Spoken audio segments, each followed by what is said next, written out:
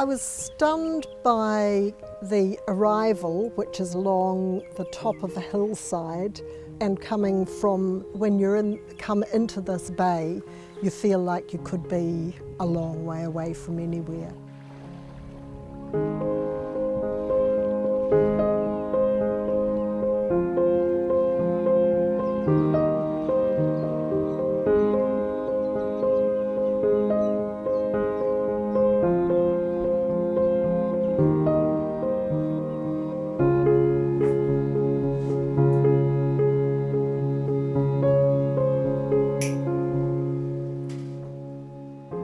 I'm Lynn Kelly and I'm a jeweller. Been a jeweller for 26 years. Before I was a jeweller, I did horticulture.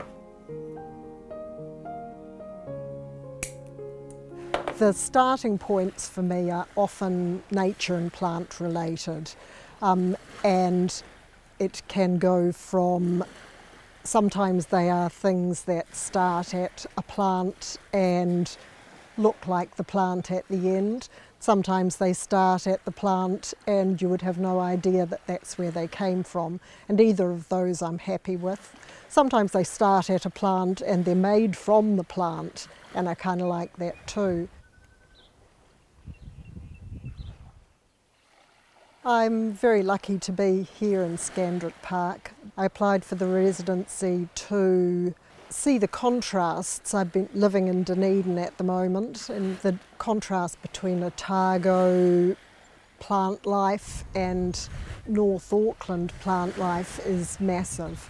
Also the Scandretts, once I read a little bit about the Scandrett family, uh, George Scandrett came to New Zealand from Northern Ireland, and my family are from, my parents were from Northern Ireland, and sort of looking at coming to a different country.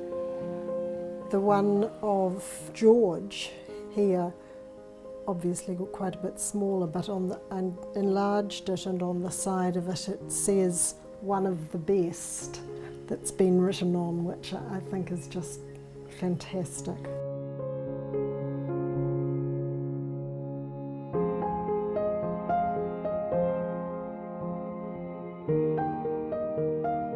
There's a lot of items that I've found on the beach particularly that have influenced what I would like to be making.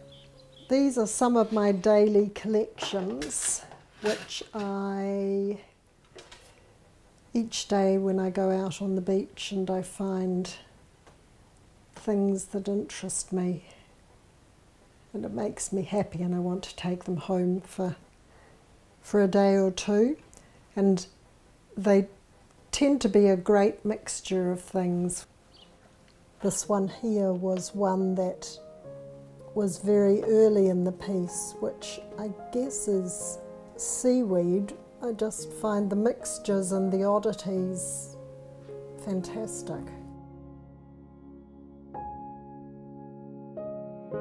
I've made, got the mock-up or the beginnings of a necklace out in the workshop using these pieces. I've been picking up the tangled pieces of net that somebody has cut off when they've had trouble with their nets, but I started picking those up to save them, the birds getting caught in them, and actually have found myself with those as a part of a necklace at the moment.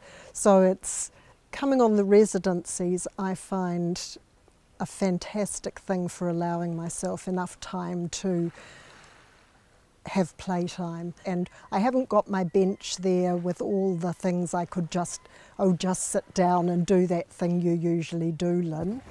It makes me take the side step and experiment more and say, oh, well, I wonder if I put this with that and look more carefully at it. I've just been working actually in in a much more um, allowing myself to experiment.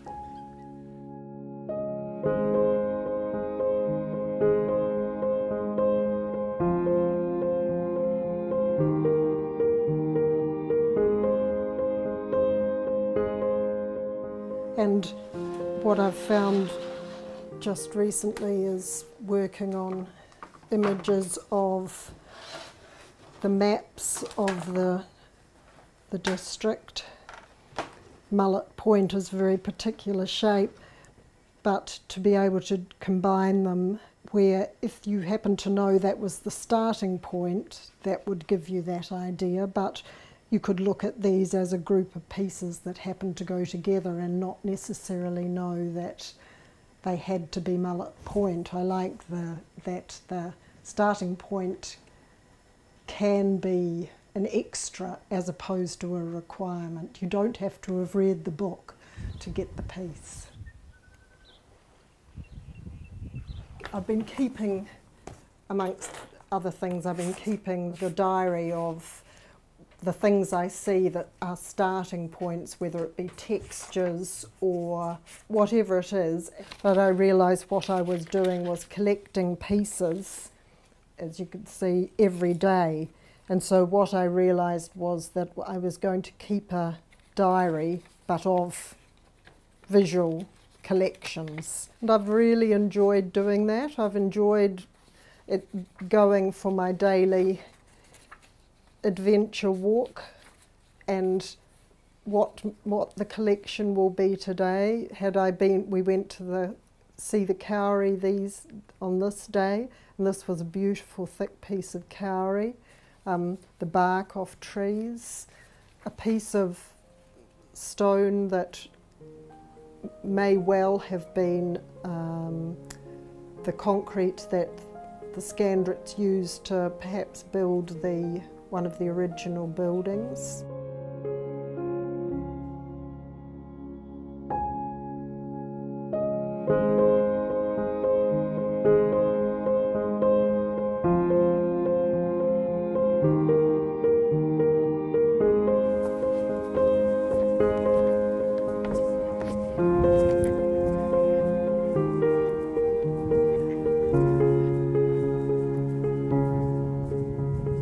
Residency is for two months, which is a, um, seems like a really good length of time, both for getting to know the place and then getting ideas underway. I'm spending my days drawing and taking photographs and finding the items on the beach.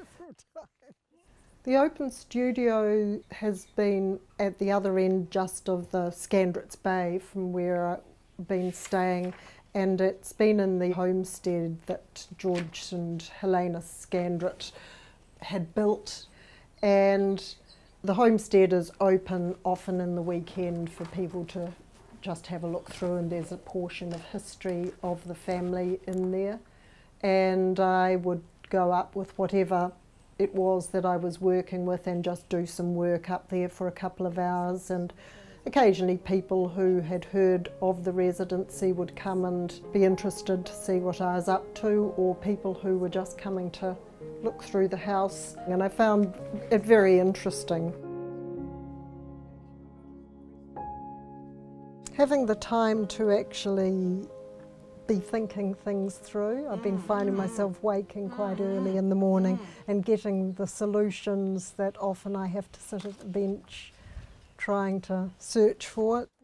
I think that it's been really nice having come with knowing a little history about the family and a vague idea of what I thought I may do, but coming here able to, with enough time and uh, able to relax and re look at things and slow down enough to look intently at things that I think it's actually widened quite greatly the ideas that I have. I've been doing very plant related things in the past and I feel it's it's widened that notably and I'm really pleased about that.